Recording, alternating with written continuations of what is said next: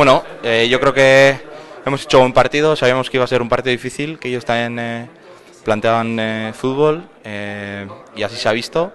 Pero bueno, hemos apretado bien eh, su salida de balón y luego pues hemos implantado ese ritmo característico ¿no? de, de la primera división, que al final pues ahí se ha visto un poco la diferencia y les hemos ido cansando poco a poco y al final pues hemos conseguido ampliar el resultado.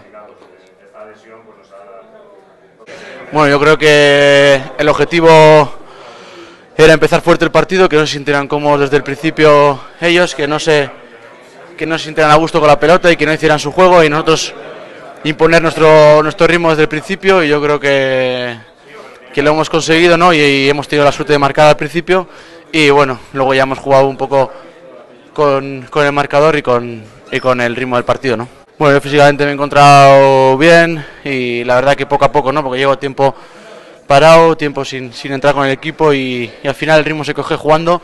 Y bueno, que o no, me he encontrado bien, con buenas sensaciones con, con balón, que, que igual eso de una vez que entras es, es difícil, pero me encontraba bien con balón. Y, y bueno, ya te he dicho, poco a poco cogiendo el ritmo de, de competición, ¿no? Bueno, e, pentseta dute partidu nahi indugula, e, bagenekin esala izango e, partidu ba, errez bat, e, haiek be ondo jokatzen zuten e, futbolera, eta, bueno, e, hasi gara baten ikusia, ez? E, egi da lehenengo momentuan e, ba, entxufata eta atera garela eta gola egitea lortu dugula, eta horrek ba, eman digu lasaitasuna gero ba, gure futbola planteatzeko, eta, bueno, ba, partida e, ba, molda, partidua moldatzeko eta ba, azkenan e, e, irugola sartzeko. Bai, batez ere, e, uste dute intentzia de maila denbora guztian izan dela euneko euna eta horrek markatzu askotan e, ba, gero, geroko emaitza, ez? E, ikusia zelan e, ba, une oro garen e, haien e, ba, jokoa e, a, ba, apretatzen eta ez diegu utzi e, ba, baloia ateratzen eta gero hori, gero ritmoa emon jokoari eta haiek ba, pixkanaka pixkanaka e, kantzatzen dira eta bueno, ba, utzu, utzuneak e, aukera, e, ikusi ditugu, bilatu ditugu eta golak egin ditugu.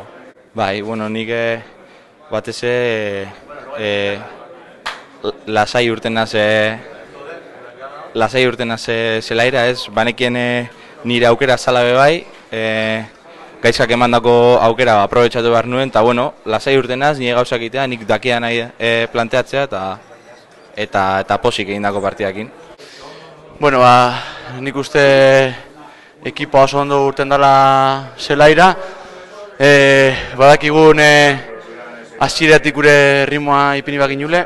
Ba, ze haurik e, ez e, komodo egoteko eta nik uste dute hori lortu dugule, ez? E, aziratik e, gure ritmoa sartu dugu eta suerte auken dugu lehengo biru minututan gola sartzeko, ez?